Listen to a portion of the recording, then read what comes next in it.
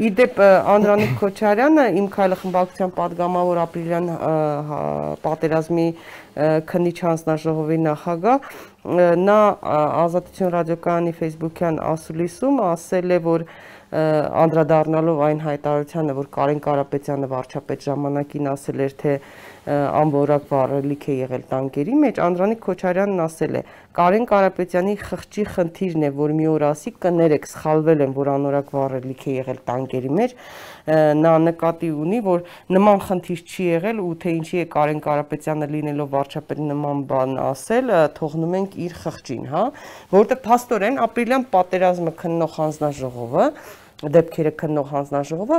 հերքեց այդ բոլոր բոլոր կեղծ տեղեկատվությունը, որ այդ օրերին դաշտ էին նետում, վառելիքի, չեն չենք ասում խնդիրներ չեն եղել, ի վերջո իհարկե եղել են խնդիրներ, բայց այդ բոլոր, հա, վարկածները բոլորը հերքեցին։ Ինչու են նորից շրջանառում։ Կամ օրինակ, ասենք, իմ քայլը խմբակցության падգամավոր, Սորոսի ծրագրերից եւ այլ կառույցների ծրագրերից օգտվող падգամավոր, ասենք Գանե Աբ รา համյանը, որը ժամանակին երբ որ պաշտպանության նախարարն էր Վիգեն Սարգսյանը եւ դուք փոխնախարար էիք, ազգբանակ հայեցակարգի դեմ, որը ընդ որում, ասենք, ազգբանակը կարևորում էր զինվորական մասնագիտության արժևորումը, ռազմաքաղաքական դիվանագիտության ուժեղացումը, ռազմարդյունաբերության եւ այլն, հիմա մանրամասներով չեմ հիշում, այն ժամանակ քննադատում էր իշխանություններին նախքին ու հոդվածներ ուներ եւ ասում էր որ Հայաստանը գնում է միլիտարիզացման ճանապարհով եւ մեղադրում էին գոչեր էին անում խաղասիրական հիմա իրենք ասում են գեղց հայրենասիրական տեքստեր են տարածում ու մեղադրելով նախկին 30 տարիների այսպես ասած բոլոր այն մարդկանց եւ իշխանություններին այս տարիների ովքեր ներդրում են ունեցել ինչպես հասկանալ Տեսեք, իրանց կառավարման մեխանիզմը շատ པարզ է։ Իրանք հենց սկզբից եկան հասարակությունը բաժանեցին երկու մասի։ Իրանք շատ լավ հասկանում էին, ասիկ իրանք չէ, իրանց հետևում կանած են մարդիկ, ովքեր որ այտենց բոլորի բերանը լեզու են դնում, փող են տալիս եւ պատվերներ են իրականացնում, շատ հաճախ Հայաստանի Հանրապետության դեմ բաժանեցին հասարակությանը երկու մասին, ստեղ ասեցին սևերում են, ստեղ սպիտակներն են։ Իրանք տեղավորվեցին, իրանք անունը դրեցին սպիտակներ, մնացած բոլորն էլ ովքեր իրանք հետ չէր, սևացավ։ Մի ինչ որ կարճ ժամանակ Վարգավաճ Հայաստան կուսակցությունը եւ դաշնակցությունը իրանք հետ կոալիցիայում էր սպիտակ էին։ Հենց բան չեղավ, իրանք էլ սևացան, հիմա տեղափոխվեցին սևերի դաշտ։ Իրանք լավ գիտեն, որ իրանք կառավարման ընթացքում սպիտակ այսպես կոչված պայմանական սպիտակների դաշտը գնալով փոքրանալու է, սեղմվելու է իրականության մեջ եւ բնական ընտրանքի ճանապարհով սև սև դաշտը իրանք էլի ասած պայմանական սև դաշտը գնալով մեծանալու։ Հիմա իրանք կռիվը սև դաշտի հետ է։ Հետևաբար, որpիսի սև դաշտը հնարավորինս քիչ լինի, հնարավորինս սևի մեջ մնա, հնարավորինս վատ հնչի, հնարավորինս բան լինի, անընդհատ ամեն ինչի նրանք կանգ չեն առնելու ոչ մի առաջ։ Նրանք մաքիավելի են։ Նրանց նպատակն արդարացնող միջոցը պատրաստ են սեփական պետության շահերն էլ տրորել։ Մենակ թե սևերին հնարավորինս քիչ պահեն, սեղմված պահեն, այդ կեղծ սոցիալական հարցումները, որ անում են, չգիտես ինչ։ Այդ 85%-ը, հա, գելապ, մելապ բանաց գնալի։ Դե տպավորություններ, որ հայ ժողովուրդը մազոխիստ է։ Ասենք, որքան կյանքը վատանում է, որքան ամեն ինչ վատ է, թեկուզ միայն կորոնավիրուսով պայմանավորված, բայց միևնույն է 85% վստահություն, հա, այդպիսի բան է։ Ըստ իրանց հարցման ես էլ ուրեմն գելապը պատահական չի դնում այդ թվերը։ Ինչ փափուկ բարձ դրվեց Նիկոլ Փաշինյանի գլխի տակ, խնդրում եմ սա բացատրել։ Դե հենց հենց դա եմ անում, այսինքն որ այս տարանջատում իրանք միշտ այդ կռիվն անելու 5 տարի լանցնի, ասել են բա այն 17 թվականի փետրվարի կամ ապրիլի 22-ին, որ դեռ Սերժ Սարգսյանն էր բանը երկրի ղեկավարը, ապրիլի 22-ը շատ վատ էր։ Ապրիլի 23-ից արդեն շատ լավ ամեն ինչ։ Արդեն գալու է նույնիսկ абսուրդի հաստող այդ սահմանային այնքան որ այդ սև սպիտակ բաժանումը պահեն, որպեսզի կարողանան իրենց խղճուկ իշխանությունը ինչքան հնարավոր է երկարացնել։ Խղճուկ ասում եմ այն իմաստով, որ ոչ մի օգուտ չի տալիս պետությանը։ Ճիշտ է, հասարակության մեջ դեռևս կան մարդիկ, ովքեր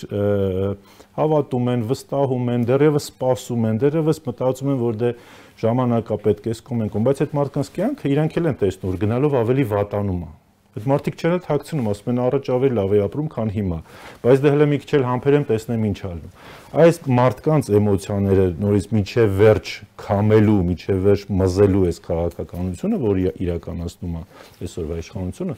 սա ներքին կառավարման տեսանկյունից եւ կայուն զարգացման տեսանկյունից որևէ լավ բանի չի բերելու։ Հիմա ձեր հարցին անդրադառնամ, փափուկ բարձրի առումով։ Այ լրացնեմ փափուկ բարձ, հա, ինչու եմ ասում, փափուկ բարձ գելափի այդ 85%-ի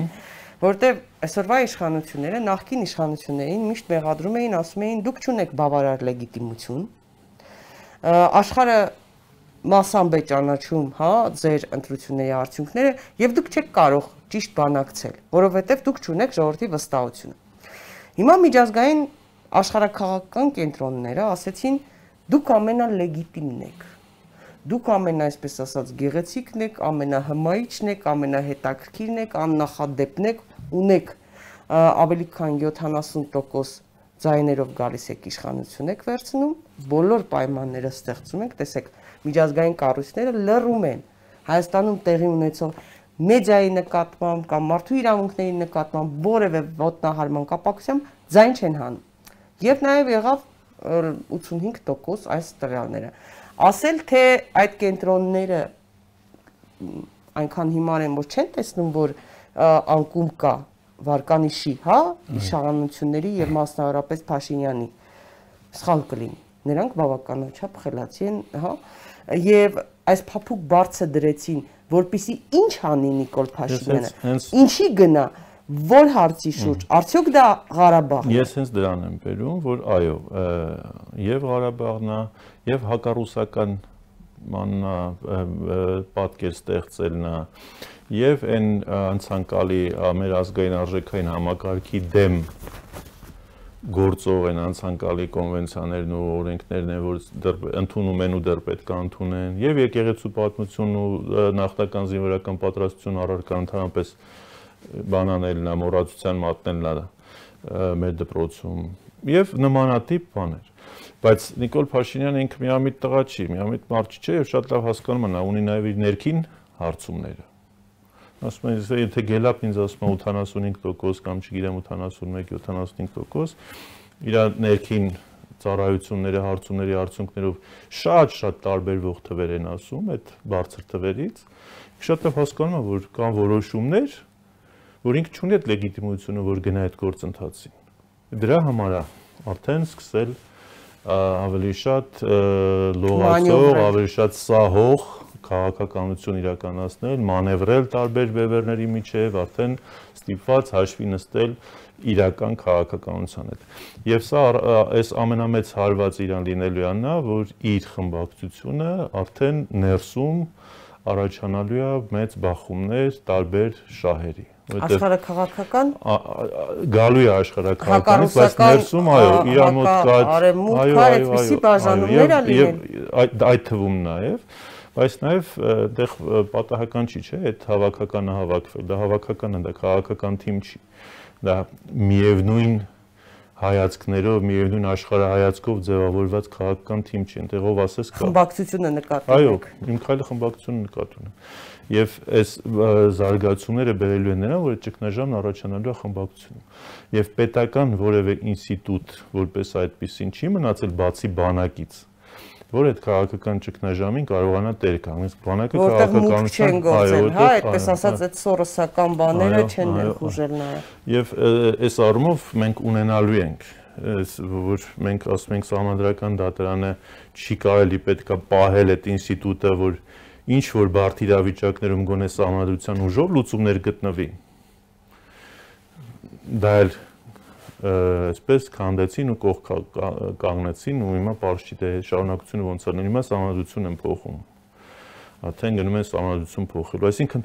բոլոր հնարավոր հանդեսները հա այնպես դպրոցական երեխեքի համար որ հանդեսներ են անդադանում որ շեղեն չոր բաներ բանցիկներով բանով հա այնպես բոլոր այս հանդեսները որոնք որ իրական քաղաքականության մեջ մեր ժողովրդին, մեր պետությանը ոչինչ չեն տալիս, իրանք անում են բոլոր այդ հանդեսները կեղծ թեմաներ, կեղծ օրակարգեր, կեղծ բանավեճեր, քննադատություն, չգիտեմ, նախկինում սենց ավելի խորքում նենց, այս մյուսը մյուսին եւ այլն եւ այլն այս ամբողջ այս ներողություն խոսքիս համար գյուղամեջյան բանի մեջ, այս զրույցների, այս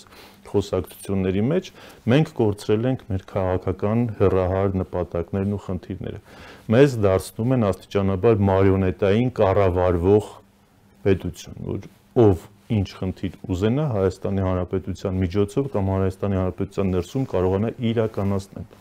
նաև Հայաստանի անվտանգության ռազմավարական, հա, նշանակության այդ փաստաթղթում փոփոխությունները, որի մասին քչերն են խոսում այս օրերին, թե ինչ ձևակերպումներ են տեղ գտել Արցախի հետ կապված,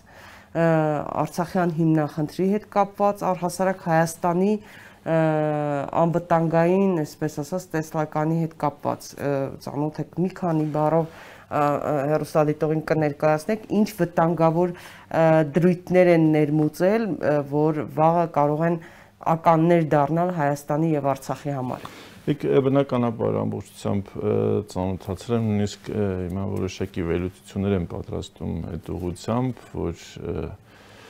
չգիտեմ դա ինչքանով օգտակար կլինի գործող իշխանություններին, որովհետև իրանք ամեն-ամեն անեն եւ չեն հանդուրժում այլ կարծիքներ, այլ տեսակետներ, բայց իմ հավաքական, այսպես նախնական պատկերացումը հետեւյալն է. Ազգային անվտանգության ռազմավարությունը, որը որ ներկայացվել է, սա չի արտահայտում ամբողջական սպեկտրը բոլոր սպառնալիքների եւ բոլոր հնարավորությունների։ Ինչքան որ քաղաքականության մեջ հատկապես անվտանգային միջավայրերում սպառնալիքներն ու հնարավորությունները միշտ զուգահեռ են լինում ինչքան սպառնալիքները մեծանում են, այնքան հնարավորությունները շատանում են եւ այդ մարտահրավերների ամբողջական համակարգը, որը որ մենք հիմա արդեն տեսնում ենք ապագայի համար, մեր ազգային անվտանգության ռազմավարության հայեցակարգում ներառված չեն ներառված չեն այն այն իմաստով, որ այս աշխատանքն արվել է նախկինի վրա նախքին ռազմավարության վրա ավելացրած ինչ որ հիբրիդային եթերային պատկերացումներ, ինչ որ ձևակերպումներ, հա, այսինքն չգիտեմ, տարել են վարչապետին ասել են պարոն Փաշինյան, մի հատ կնայեք, ասել է լավ, թող մնա նայեք, վերցրել է նայել եմ երկու բան ինքն ավելացրել, հետո գնացել եմ մյուս գերատեսչությունում երկու բան դեղ են ավելացրել, երկու բան ու հավաքական դիսկրետ ինչ որ աշխատություն է ված ստացված հավաքական ինչ է ուզում Հայաստանի Հանրապետության անվտանգությունը եւ որ ուղղությամբ զարգանում իր բոլոր ռեսուրսներով, բոլոր գործող ինստիտուտներով հանդերձ։ Սփյուռքն էլ ներառյալ, որովհետև դա եւս այդ գործոններից մեկն է։ Արցախի ուղությունն առանձին միայն հոբանը չի, պատերազմը չի, միայն բանակը չի, հա բանակային խնդիրները լավ շարադրած բանակից վերցրած, պաշտպանական քաղաքականությունից վերցրած շարադրած նպատակներով, թիրախներով։ Բայց ով է ապահովելու այդ ամեն ինչը եւ որտեղից է ապահովել, ուր են այդ ռեսուրսները։ Այս ամբողջ այս հավաքականության մեջ տեսլական, որպես այդպեսին զարգացում համակարգված ինստիտուցիոնալ տեսանկյունից հիմնավորված գիտական առումով ամուր չկա։ Սիրողական մակարդակի աշխատանք արված։